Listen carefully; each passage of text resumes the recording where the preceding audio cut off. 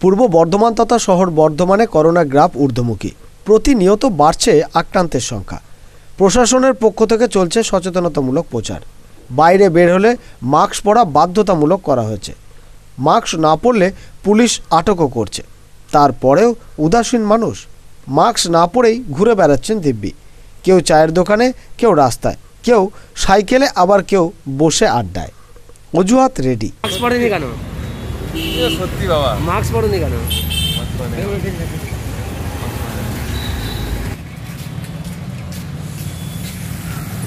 মাছ আছে তো এরকম নামিয়ে রেখেছিলেন কেন? আর সব নিঃশ্বাস দিতে কষ্ট হচ্ছে না ওর লেগে মাঝে মাঝে নামিয়ে দিচ্ছিলাম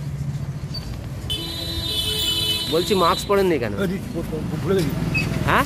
ভুলে গেছি। ভুলে গেছিলেন? বলছি তোমরা মাস্ক পরনি কেন? না মাস্ক পরেছিলাম এখনই খুলে দিয়েছি। আর তুমি? আমি আনতে ভুলে গেছি।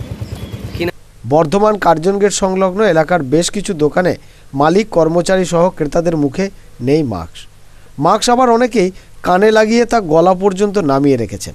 অর্থাৎ মাস্ক মুখ ও নাককে গার্ড করার কাজ করলেও অনেকে তাকে ঠান্ডা আটকাতে বোধহয় গলায় ঝুলিয়ে রেখেছেন। উদাসীন মানুষ আসলে নিজের সাথে সমাজের বিপদও ডেকে আনছে আপনি খুললাম। হ্যাঁ? মাস্কটা কোথায়? নামানো কেন? নামানো কেন? নামানো কেন? হ্যাঁ। খেজুর গুড় খেলাম তো। টেস্ট করলাম হ্যাঁ মাছটা সবটাই হয় আর অসুবিধে নেমে যায় মাঝে মাঝে কথা বলতে বলতে।